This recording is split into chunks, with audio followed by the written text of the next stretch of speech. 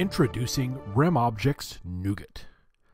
Oxygene is the general purpose programming language and environment designed to let you create all imaginable kinds of projects on the platforms you want. Oxygene is all about giving developers a native development experience on each platform to create the best app possible. You already know about Oxygene for .NET and Oxygene for Java and the great platform support they provide. Now I would like to tell you about the newest flavor of Oxygene, codenamed Nougat. Nougat gives you full access to the Cocoa and Cocoa Touch frameworks that make great OS 10 and iOS apps possible. Just like the other flavors, there are no forced abstractions to get in your way of making a great high performance app. All three flavors use the same great Oxygene language you know and love, with all of the amazing features that make development a breeze, but with no baggage from the other platforms. Keep in mind that Nougat is still in beta, so some of the features are still under development. I'm going to show you beta 3, which you will see is pretty far along. Nougat uses the same Visual Studio 2012 IDE as the other flavors of Oxygene. This gives you all the Oxygene productivity enhancements you're used to. Your apps have full access to the native frameworks and the Objective-C runtime, including automatic reference counting. Nougat also includes Crossbox, which bridges the gap between Visual Studio on Windows and your Mac and iOS devices.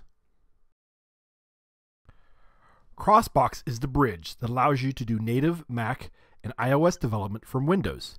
It connects Visual Studio 2012 on Windows to all of the native tools on your Mac.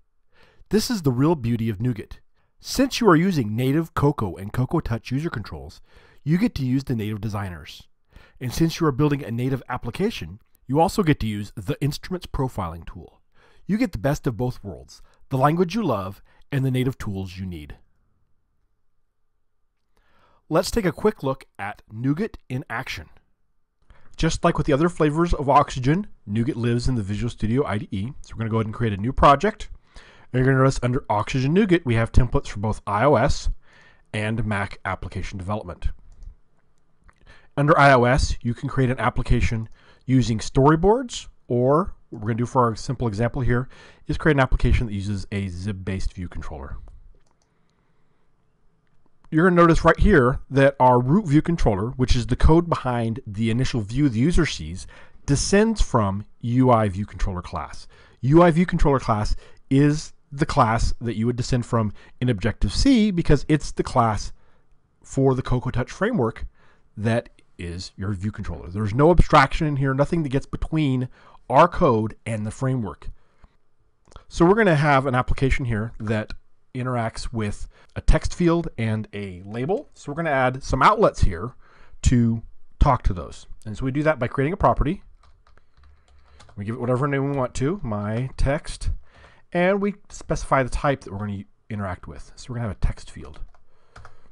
Another property, and it's a UI label. So these are called outlets, and this is what allows our code to communicate with the view. So now we want to have an action. An action is the way we respond to an event from the view. And we do that by creating a method. And we give it whatever, whatever name we want. And then the key is having the right signature.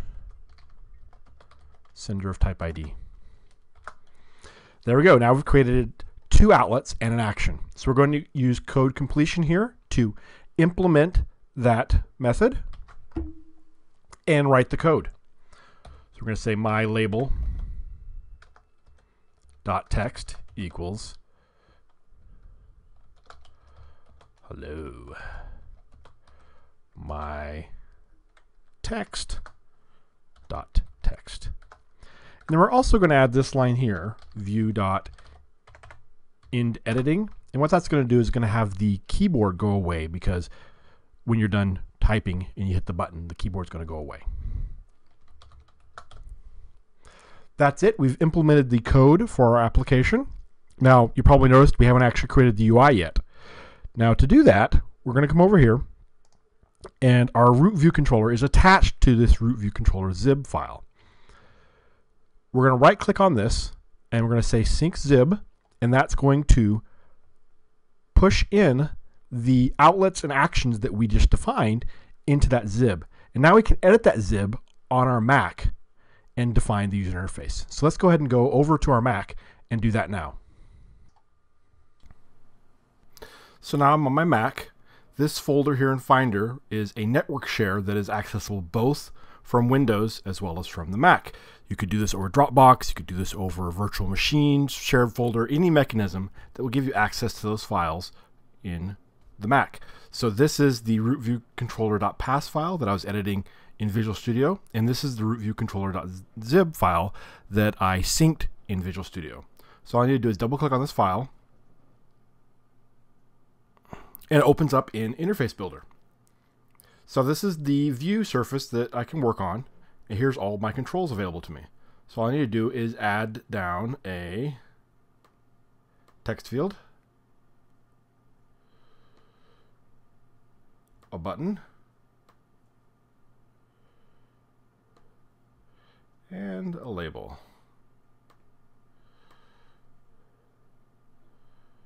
So go ahead and resize these a little bit here.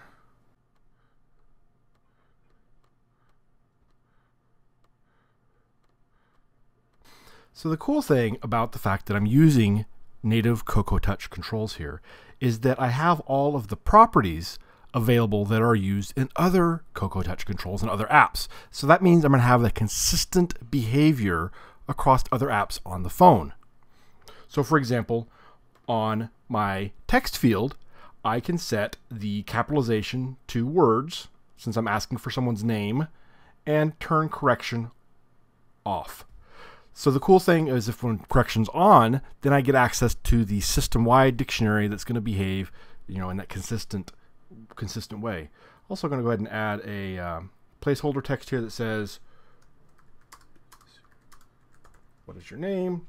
And then turn the clear button to always be visible. So it'll be visible as soon as there's text in there to be cleared out. So there we go. We've set up our user interface the way we want it to be set up but we haven't wired it to our root view controller yet. So there's two ways to do this. The first way, so if I come over here and select Files Owner, and I'm going to come over here to the view here and see that this is, the identity of this is it's a root view controller is the class. Now that root view controller is the class that was defined in this Pascal file. So it's showing us that we are connected to our root view controller. So if I come over here to the uh, connections inspector, we can see here are the outlets, my label and my text I just created, and the action button touch. So now all I need to do is drag from here over to here. Now notice I selected my label. It won't connect to the text field or the button, but it only connects to the label. And that's because I specified the type as UI label. And the same is true for my text. I'll show you the other way of doing this for the button. On the button, I want to wire it to the button touch event. And so instead, I'm going to use the secondary click and drag over here to file owner and let go. And it says this is the events that are available and I'm going to select button touch. And it's going to automatically connect button touch to touch up inside. Touch up inside is the default action for a button that if it's when you put your finger down inside the button and then let your finger up inside the button, touch up inside the button. So there we go. We've wired up the visual representation of the view to the root view controller, the code behind. So now we can save this and go back into Visual Studio and run our application. So now we're back in Visual Studio. Our root view controller xib file was updated from interface builder. So we're ready to build and run our application. Now, in order to build and run it, we need to set up a crossbox. So when we click on this crossbox dropdown, it will automatically discover any crossbox servers on our local network. Now, a crossbox server is a um, machine that is running crossbox, a Mac that's running crossbox. So how do you install crossbox on a Mac? If you go to crossbox.me, it'll have the download available as soon as Nougat is released. So right now, if you go there, it's not available, but it will eventually be available there along with instructions. So you just follow those instructions, install Crossbox on a Mac. If it's on your local network, it will discover it automatically when you click the drop down and list it here. If it's not, then you can say register server And that will allow you to specify a Mac on a remote network, over the internet, in the cloud, wherever, and then connect to it from there. So then when you mouse over this, it's going to give you a list of devices that are on that server. So this is the default list you'll always get. If you're building a Mac application, this will be enabled and the other ones will be disabled. And this is what you would build to build, or you'd select this and it would build and run it on the Mac that's running Crossbox. Now, the other options, this one is for building for deployment. So it's going to build it for the ARM processor for deployment. These two will build for the x86 processor to run in the simulator, either the iPhone simulator or the iPad simulator. And then if you connect, so let's go ahead and select, let's go ahead and select iPhone simulator. And I'm going to attach my iPhone to my Mac. And if I go back into this menu now, we'll see that my iPhone is listed here as well. So if I wanted to build for and debug on my iPhone 4, I would select this option and it would build it and then debug it on my iPhone. We're going to stick with simulator, but I do want to show you how to provision. So if we come in here to project properties, in order to run on actual hardware, you have to provision it. If we go into the Nougat tab, and then from here we can select our provisioning profile name. Now, Crossbox has gone out and grabbed this information from Xcode, which grabs it from the developer portal automatically. So I don't have to remember any of this stuff. It's all done for me. And then I just select my certificate name. And now my app will be provisioned if I want to build it on actual hardware. And then also here is the architectures selection. By default, we're going to build a hybrid app that will run on both ARM v7 and ARM v7s. v7s is the new iPhone 5 processor. If we want to just build for one or the other, we can do that though. Most often, you're probably going to want to stick with hybrid though. And then lastly, in the review controller here, I showed you that we are descending from the UI view controller, but I also want to show you this here is an example of the split naming convention that's been introduced in Nougat. And this comes from Objective-C. Objective-C uses the split naming convention for when you have multiple parameters. So you'd read this as init with nib name root view controller bundle nil. So what this does is it turns a method call into a sentence. And then you know exactly what this is. So if it was just nil here, you would have no idea what you're passing to this if it didn't say bundle. So now we know the bundle is nil, but if bundle was gone and it was just passing root view controller and nil, we wouldn't know what those parameters meant. So this makes it more expressive, which fits really, really well with the Pascal syntax that Oxygene is based off of. Right here, this is the title of our controller. So I'm going to change this as well to say uh, Nougat Rocks. And that's just what's going to be displayed at the top of the view. All right, so we're all ready to go. So I'm going to go ahead and run this in the simulator on my MacBook Pro.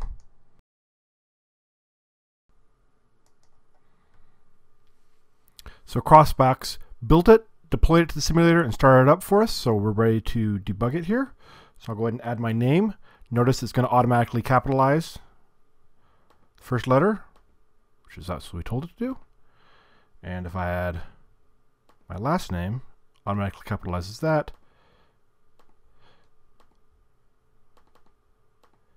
And it's not offering to autocorrect my last name, which I know is not the dictionary. So there we go.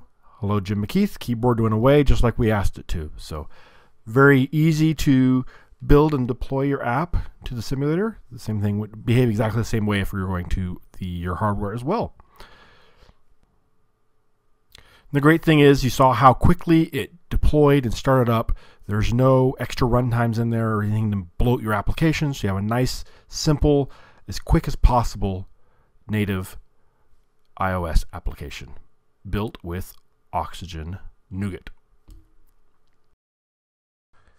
This is one of the samples that's going to ship with Nougat. It's called Browse 500.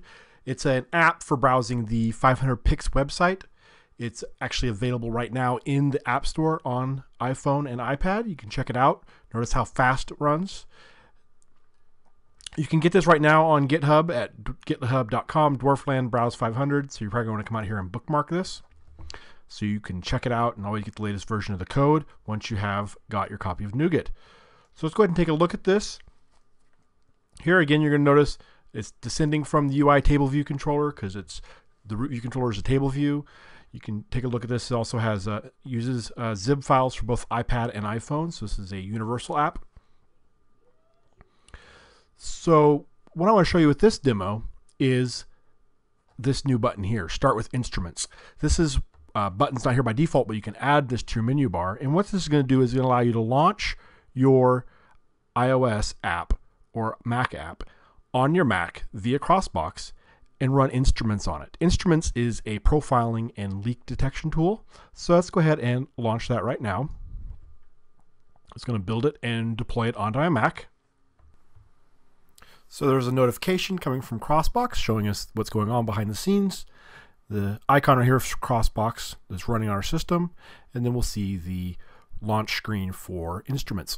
You have a choice of different trace templates available to you here. You can also create your own over there. I'm going to go ahead and run the leaks template.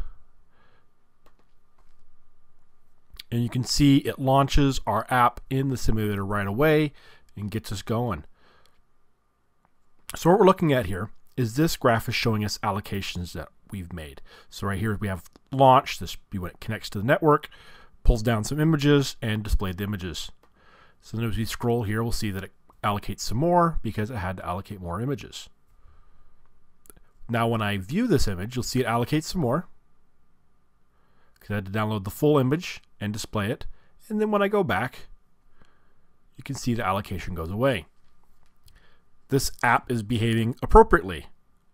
If there were leaks, allocations that were uh, the reference were being lost to, those would show up down here.